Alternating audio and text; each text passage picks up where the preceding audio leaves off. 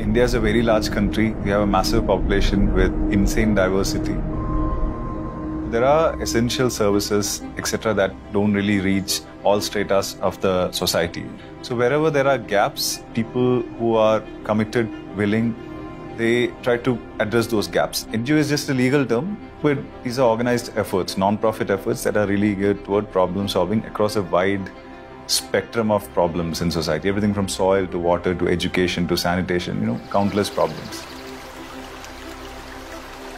See, one thing is clear that NGOs are having definitely greater connect with the grassroots.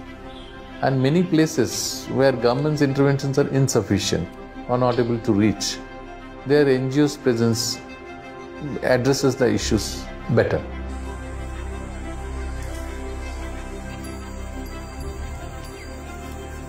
Although the intent is there of most NGOs for the welfare of the society, but somewhere there is a lot of skepticism in people. Fundraising for any NGO is a challenge, right? It is based on credibility.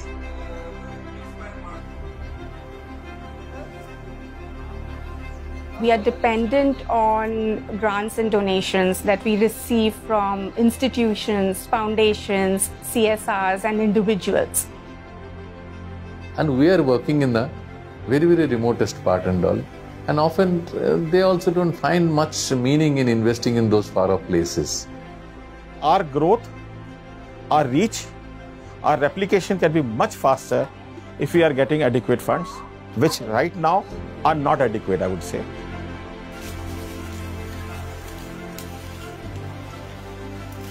NGO space is not going to go away because this is driven by the empathic, passionate people who are uh, ready to give their life for a cause, you know. And I think many times uh, uh, uh systematic or large systems uh, lack that empathy. Uh, you have to go through the very vision of Honorable FM when in 2019 budget she spoke about social stock exchange. The vision was to bring the capital market close to the masses and this is a bedrock of you know ESG. Then the people should not be conscious around only of the money. You know, it should be environment, social, governance, all three together. SSE is nothing but a contributor to that. SSE is one medium which is very comforting to the NGO. There is a validation. When we go out as an NGO, we approach anyone and we say, you know, uh, we are listed, we are part of the SSE. Or, you know, the reaction is suddenly they have faith, uh, there is authenticity, uh, there's uh, credibility to what you are doing as an NGO. SSE is like a stock market, uh, albeit on the social side of things. It provides a platform for investors, for retail, for individuals to come together and contribute for the development of the country. The philosophy is like this I am running an NGO the first question I ask myself is why am I doing what I'm doing? Because we all want to do good. But doing good is one aspect of it. Measuring what good you have done, how you have spent the money, how you have documented it, how you have maintained compliance, all this matters. If you believe in that, you must be in SSE. India announced it in July 2019 and clearly recognizing that the fiscal resources required for social development can no longer be met by the state alone. And Team India can't be just government. Every citizen needs to participate. I think that's a foundational paradigm. In my opinion, no amount of regulation can match the market's oversight and regulation of an organization. And this provides the opportunity to tell the whole world how socially relevant the civil society organizations and NGOs are we, we, have been able to talk to a few organizations who understand the challenges and have decided to try it out and be pioneers. I think interest is there, everybody's intent is there. We were knowing about the social stock exchange and we kept hearing. It really excited us as an organization and because you know the values what the social stock exchange has is very much aligned to the values of uh, TRI also to be accountable for the public resources, to be accountable for the change we are promising. This actually opens up a space for private philanthropy to actually invest in social impact and SSE is going to be that medium which gives them that window of seeing how impact looks like. And you know, this is going to make giving very aspirational in our country. When the finance minister has announced social stock exchange, Swami Vivekananda Youth Movement definitely wanted to list ourselves so we can create a path for other NGOs to list. We started to work ourselves how we can build our capacity as well as we can take other NGOs with us. As an organization, we strongly believe in social infrastructure creation, and SSE is a great platform to do that. As one of the first few organizations, I would say it's been a learning process, but I'm very thankful to the exchange, to the intermediaries who've been like very supportive and you know walked us through the whole kind of process and journey. So I think there is a need today for this ecosystem which talks about financial return and financial instruments to really talk about social return and therefore, the social stock exchange and the instruments which are now available there with full transparency, with full trust, these are instruments where you can invest for social return. And for us, every investment made by every citizen in this country deserves the protection of SEBI. There will be certain requirements. And when these requirements are new and the first step is being taken, it feels hard. But, you know, once you're in your stride, uh, it just gets easier and easier. There are challenges in uh, registration and in getting the documents approval obtained. The point is that these challenges, I would say, in a way will build the confidence of the investor ultimately or the donor.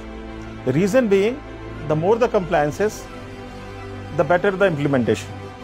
Ultimately, when we go further, it, this will become a routine.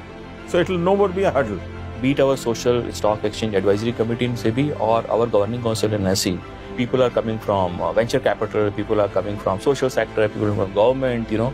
So I think this multi-pronged approach to solve the problem of social sector is happening here. So it's a wish list that if 80G and CSR corporate investments, CSR fund also getting routed through this route, it, it will be a very big sector. When it really came to the stage where you have to have pragmatism to try and make this work. I think that is when we were able to step in and say that we will put our money where our mouth is, committing this sum to the first five nonprofits who'd list just to see how it all really works out.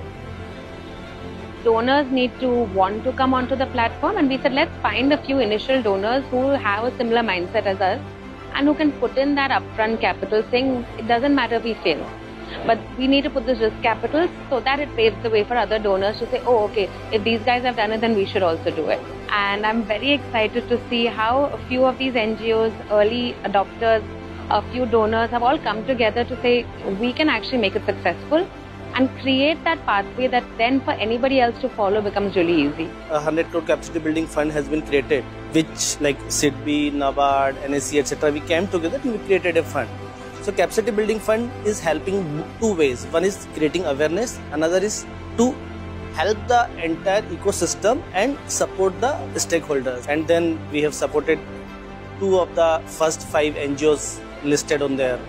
Philanthropy activity is a part and parcel of life. Only thing is not known to the public at large.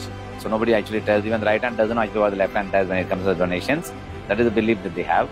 But having created a platform with as low as 10,000 rupees people can participate, which essentially means this can become a mass event as you move forward. I'm glad uh, I attended this event uh, today. I can definitely take India to the next level to find a source of funding for uh, carrying out a lot of the social activities, NGO activities in the country a lot more effectively. When a mother gives birth to a child, you've created new life. That feeling of having created something new, I think the entire ecosystem today felt that that here was the birth of something new, which we are hoping will grow big and strong and be a really important part of the inclusion agenda for our country.